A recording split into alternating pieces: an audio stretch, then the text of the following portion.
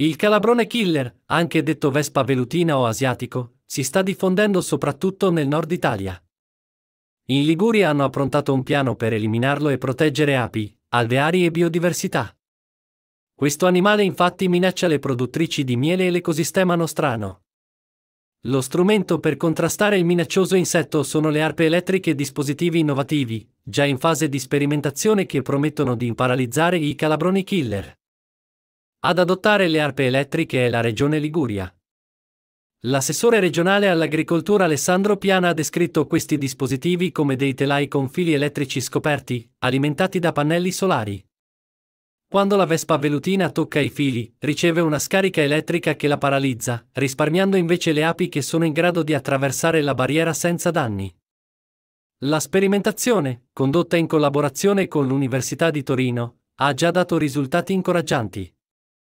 Se l'efficacia sarà confermata, la Regione Liguria avrebbe intenzione di incrementare l'utilizzo di questa tecnologia.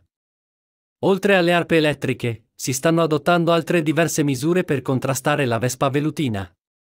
Sono previsti corsi per la formazione di distruttori di nidi e stanziati fondi per l'acquisto di materiale apistico, attrezzature e api regine.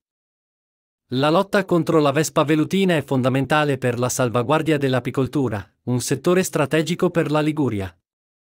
La regione conta circa 3.000 apicoltori e 24.000 alveari, che producono miele di alta qualità e contribuiscono all'impollinazione, un processo vitale per la biodiversità.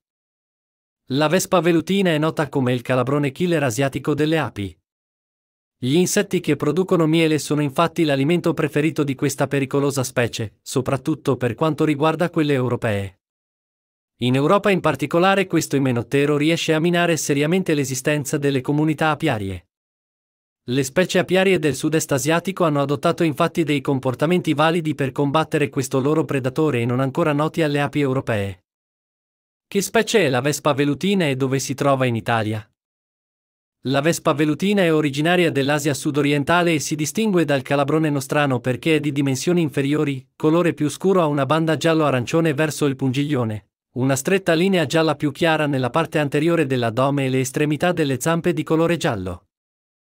Il calabrone killer asiatico è stato segnalato per la prima volta in Europa nel 2004, probabilmente introdotta con merci di origine cinese.